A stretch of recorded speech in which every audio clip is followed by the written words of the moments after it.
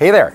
We're in Maple Ridge today to show you this cute little rancher that we've just listed. It's in a great family neighborhood and it's just a couple of blocks away from Harry Hooge Elementary School.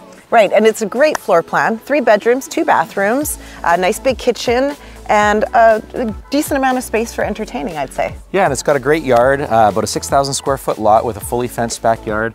Uh, there's a covered patio and there's even a couple of sheds there for all your tools. Right, and you know, this is a perfect home if you're looking to start off. Uh, or if you're doing the complete opposite and maybe want to avoid stairs, yeah. um, this might just be the one for you. Yeah, well, let's get inside and check it out. Sounds good.